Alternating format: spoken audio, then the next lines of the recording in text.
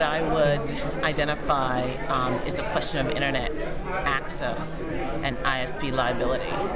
It's really important that young professionals appreciate the need for libraries to have sufficient access to bandwidth because the text size of books, pictures, video that you may be dealing with in the digital arena is significant.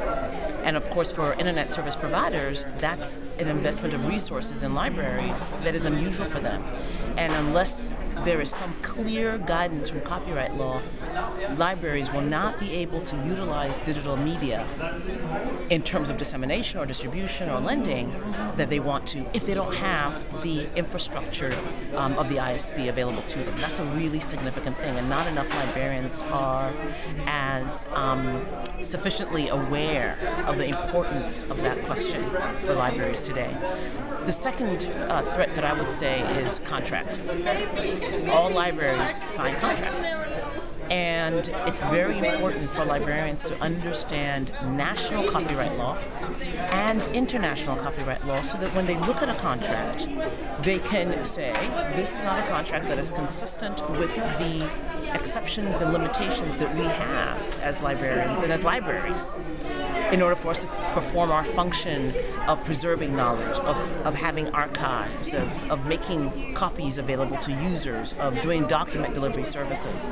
So this is really an important thing that li libraries need to appreciate that every time they sign a contract, they may sometimes be signing away a privilege that the law has given them if they are not conversant with the law. And that's very, very important.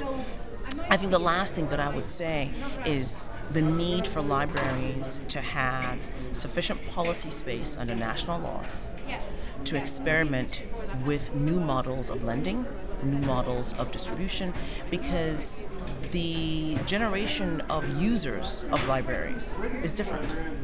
I grew up going to a physical library, taking a physical book, and reading it physically this new generation may not be as accustomed or interested in spending time in a library space. So the creation of digital libraries, what that should look like. So not just performing your function in the digital realm, but what would a digital library look like?